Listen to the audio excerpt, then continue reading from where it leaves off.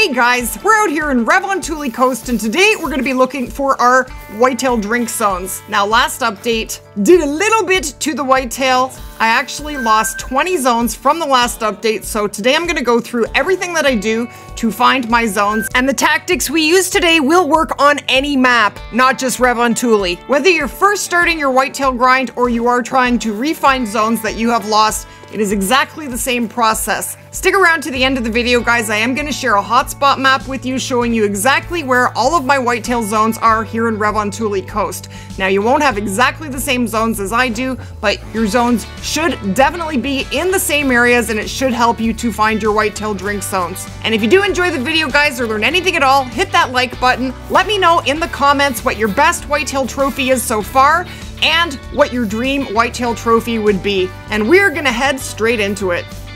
Okay, so the first thing I'd like to point out, guys, is that whitetail are basically everywhere on the map, except for basically the bottom 30%. So if I were to draw a line, so that line would basically go right across here, like that, and basically over there, and I would definitely check this area right here, we'll call that Elephant Trunk Lake. It's not really a lake, but I have a pile a pile of whitetail zones here. One, two, three, four drink zones for whitetail just in this area right here. So you're not gonna find any whitetail down here, so you don't even need to look. But everywhere else, when you're looking for your zones, every piece of water needs to be checked and sometimes rechecked. I would say that the best part of the map is the top third, this area right here. There are loads and loads of whitetail up here, and most of the lakes are nice and wide open. So generally what I do is I set the time to about 9 o'clock, 9 or 9.30, whitetail drink from 8 until 12 on every whitetail map except for Rancho.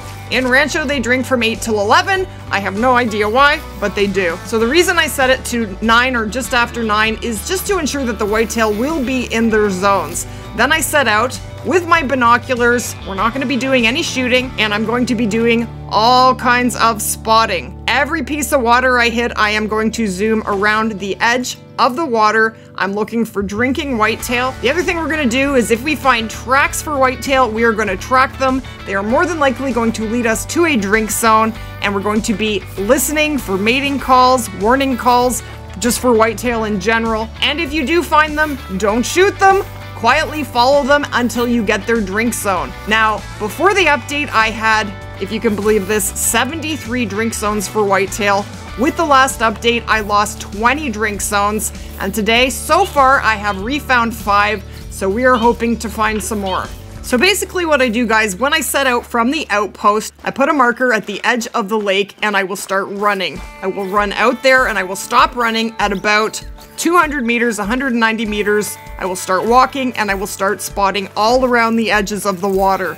This is so I don't spook if there is a zone right at the edge close to me. Now, you can pick up zones from need zone indicators even if you spook the deer out. They don't need to be there as long as there is a need zone indicator, and sometimes you can pick up the zone just from picking up whitetail tracks. So as you are running, pick up every track that you can, and if you do find whitetail, definitely follow those tracks. Now what I carry with me when I'm looking for my zones, I carry tents and tripods. I do have a rifle on me, but I don't recommend shooting while you're doing this. And when you find a zone that is looks like a really good zone, drop a tripod there just as a reminder that that is somewhere you want to set up and a tent. Now you can only put 16 tents down on any map and you can put down 32 tripods, that's the max. Now, when you are purchasing tents and tripods, you always want to be purchasing the same color variation because they stack. For example, one camo tent weighs the same as nine. I'm carrying nine here. So that is why you want to purchase the same variation. So you just want to stack them and that goes for tripods and any kind of hunting blind at all. Okay, so interestingly, these used to be whitetail zones before the update and no more whitetail zones here, unless we find some. So now I am walking. I'm going to spot all the way around all of the edges. Your binoculars are your best friend when you're looking for your whitetail zones. Make sure you check in all the corners. They can hide, and there's actually no whitetail here. Holy! All right, so if you're satisfied that there is nothing there, then head to another lake, and basically I run the perimeter of the lake and I spot everywhere. So it is a big job to find all of your drink zones, and it's these big sources of water that I find very challenging because you can't spot across the lake. The smaller lakes are so much easier because you can just run up to them, spot the entire thing, and keep on trucking. Now, anytime you can put a tent down and get to two different zones, that is a good thing. But we still do have the increased spook radius that we didn't used to have. So when you fire any weapon, you're going to spook everything for about 300 meters. So if you do set up like that, basically you're gonna have to farm one zone, go to another lake, and then come back and farm the other zone. So that's one way to get around that. Oh, look at that! Yes! Have a whitetail zone. Now what do we got in there? Nothing very exciting, but we have a zone, and that is exciting in and of itself. Alright, so let's just keep scanning here. Yes! Another zone! That is so great. So we are on the same lake that we were just a second ago. We just found two zones on this lake. One right here and one right here. So that is very sweet.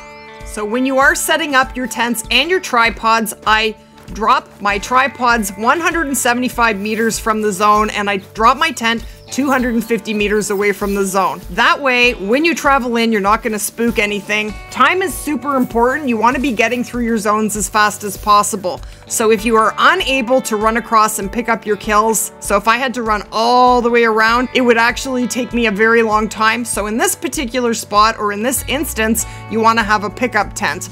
Now you don't wanna be doing that too much because we do only have the 16 tents. Now, Lynx are going to spook your whitetail out, and my whitetail are not here because I would imagine we have a lynx. Oh, here they are.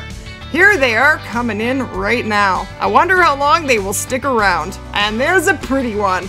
If you are actually trying to refine zones, definitely go to lakes where you already have zones and recheck those lakes. There can be more zones there. So this is where we are in the top left hand corner. And let me show you how I set up this lake. This is actually my absolute favorite lake for whitetail on the entire map. Let's go over there. Okay, so as you can see here, guys, I have my tent set up right on the cliff here. And shout out to iBuy Premiums. He's actually the one who suggested I set up like this. Okay, so I have one zone right at the bottom, right here. Doesn't have much in it at the moment, but it will. So I actually have a tripod right here.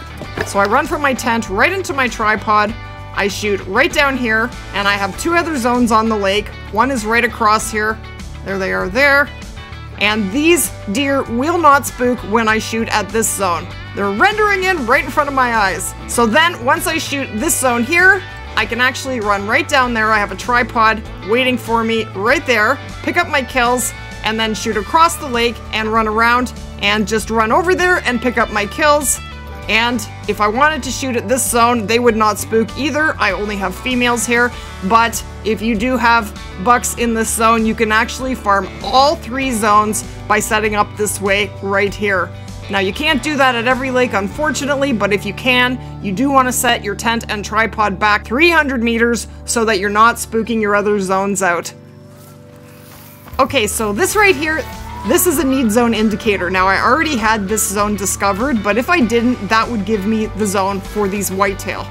So you don't have to have whitetail in their zones to find them. You can just pick up the need zone indicators, and often just by picking up the tracks around the need zone indicator, it will give you the zone. Now, time is very important. Make sure that the entire time that you are out here, that it is still whitetail drink time. So, ooh, there they go. Once it hits 12 o'clock, those whitetail are gonna be out of there. You can still pick up their zones by picking up the need zone indicators, but I would set the time back to about 9 or 9.30 and keep looking because it's just easier to spot around the lakes and find the zones that way than having to run the entire perimeter of every single lake. But that is definitely what you might have to do to find all of your zones because it is a very big and time consuming job to find them. When you're running the lakes and spotting for whitetail here in Revontuli, I just wanted to point out that the lighter area around the lakes, that is water. So you're gonna have to run around all the edges of even the lighter areas around the lakes.